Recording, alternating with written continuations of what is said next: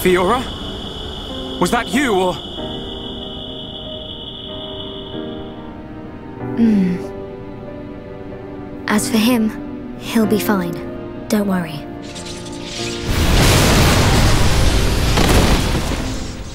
Gadolt!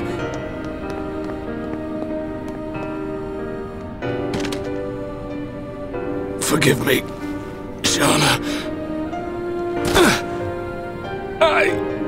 It's okay. It's all right now.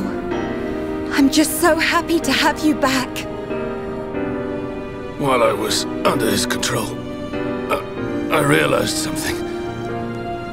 Egil once wished only to break the circle of suffering. He believed that if blood is spilt now, a new world will be born. But something terrible happened. And now... Now... He's consumed with vengeance. Egil. Go! Get out of here! Stop them doing what they did to me! To anyone else! I promise I'll be back for you. Until then, stay safe.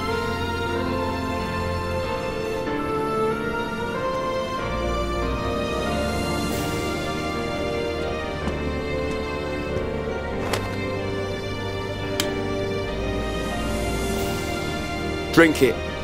You must be thirsty. Thanks. Don't go dying on us. After we take Egil down, we'll get you looked at. You don't look like any doctor I've ever seen. I know a good doctor nearby. She is Machina, though.